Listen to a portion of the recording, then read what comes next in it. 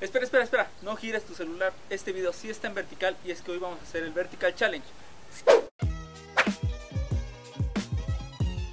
¿Qué onda gente? ¿Cómo están? Bienvenidos a un nuevo video, yo soy Charlie y el día de hoy como ya viste vamos a hacer el Vertical Challenge Este reto fue ideado por Matthew Toshi y consiste en realizar un video de tu mismo estilo pero en formato vertical y tratar de que alcance el mismo impacto que tus otros videos Antes que nada por supuesto vamos a aclarar que los videos en vertical surgen gracias al eh, auge de los smartphones como un error de que las personas toman sus celulares y los colocan en una mala posición al momento de grabar pensando que es, es igual que una cámara de fotos en vez de ponerlo en posición horizontal como debían haber sido los videos, los graban de forma vertical.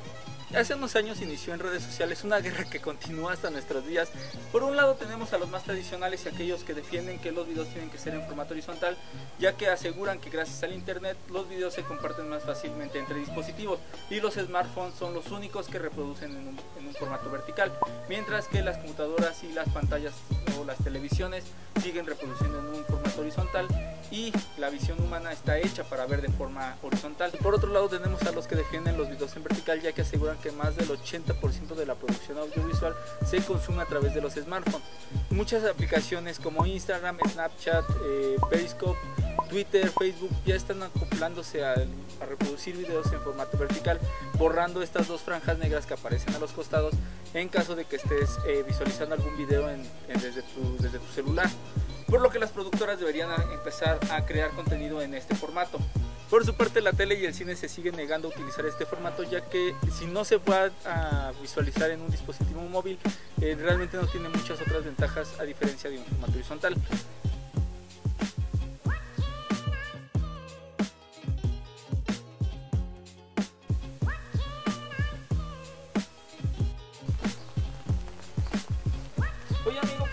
Grabando mal, tienes que agarrar el celular de, en, en, horizontal.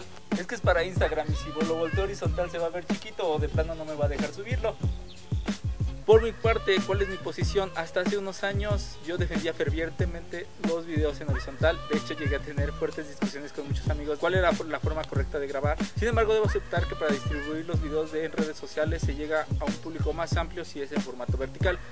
Debemos aceptar que el formato vertical llegó para quedarse y seguirá utilizándose. Quien no lo utilice realmente se está perdiendo de una gran oportunidad de transmitir su mensaje a muchísimo público. Bueno, realmente este video es muy muy cortito, eh, solo quería dar mi opinión acerca de los videos en este formato, en el formato vertical y cumplir con este reto. Además quiero proponer a Gina Vlogs para que cumpla con este challenge.